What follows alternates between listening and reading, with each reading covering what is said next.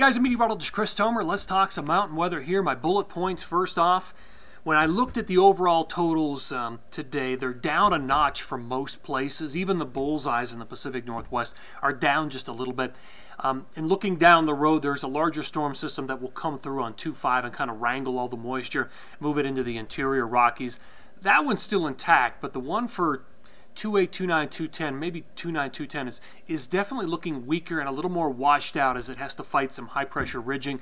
And then there's probably another storm system down the road at about 214, 213, 214, somewhere right in there.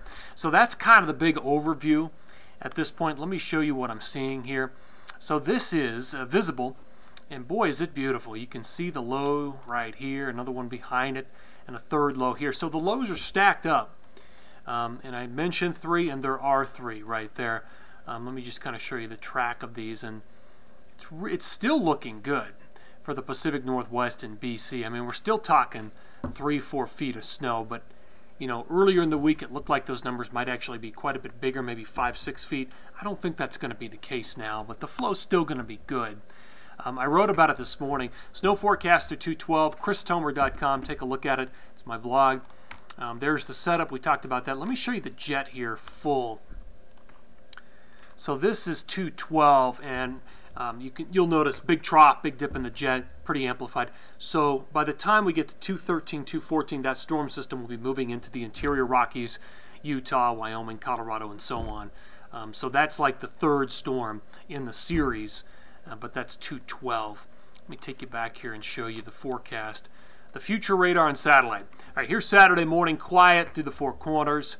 Um, look at that, nice storm system 2-5 hits the Sierra, then moves into the interior, and that storm's still looking okay.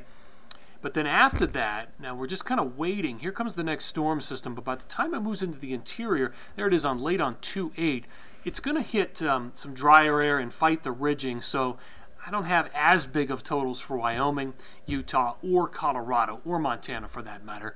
Um, but I'll show you that uh, coming up here. And I have the totals on my website. Um, I do mention that just about all of the snow in Colorado occurs late 2.5 into 2.6 with that storm system because the storm down the road, 2.9, 2.10, is looking much weaker. And actually, the same holds true in this update for the Wasatch. Most of the snow comes in the afternoon, 2.5 for the Wasatch, into 2.6. So if you're looking at timing info right there, let me show you my numbers. All right, so this is um, 2-3 basically today through 2-5. The biggest numbers are in the Pacific Northwest running down the coast into the Sierra because most of the snow in the Sierra comes very hard and fast. Late on 2-4 into the early morning on 2-5, it's all going to come in very fast. All right, so that's uh, the first phase. Here's phase 2, 2-6 through 2-12. Again, most of this, even in the interior, happens um, on 2526, maybe early 27. But the numbers in the Tetons, I brought those down a little bit.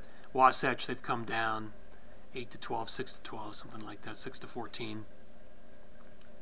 Um, in Colorado, 4 to 8 mainly for most of the mountain zones.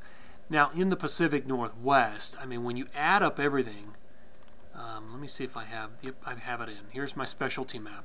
So the grand total map, 2-3 through 2-12. Um, looking at about 4 feet for Baker, 3 to 4 feet for Stevens to Whistler. Uh, Rainier obviously gets a lot, 4 feet, in excess of 4 feet. Um, still some blow off expected into Revelstoke and Kicking Horse and Red Mountain, probably a foot in most of those areas. But that's a grand total over the course of like nine days.